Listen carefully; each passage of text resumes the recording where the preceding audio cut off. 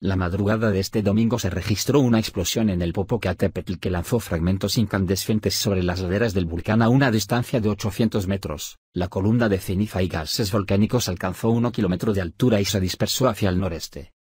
Esto después de que durante el sábado mediante el sistema de monitoreo del volcán Popocatépetl se identificaron 74 exhalaciones, acompañadas por la emisión de gases volcánicos, bajas cantidades de ceniza y en ocasiones fragmentos incandescentes.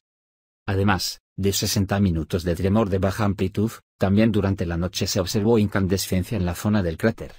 Desde la mañana del sábado y al momento de este reporte se observa la emisión constante de gases volcánicos y en ocasiones ligeras cantidades de ceniza, hacia el noroeste. Mientras tanto, el Centro Nacional de Prevención de Desastres, CENAPRED, el semáforo de alerta volcánica se mantiene en amarillo fase 2 a pesar de la baja actividad del Popocatépetl también llamado Don Goyo, por lo que el organismo exhorta a no acercarse al volcán y sobre todo al cráter, por el peligro que implica la caída de fragmentos balísticos y, en caso de lluvias fuertes, alejarse de los fondos de barrancas por el peligro de flujos de lodo y escombro. Los escenarios previstos para esta fase es que continúe la actividad explosiva de escala baja e intermedia del coloso, se presentan lluvias de ceniza leves a moderadas en poblaciones cercanas y existe la posibilidad de flujos piroclásticos.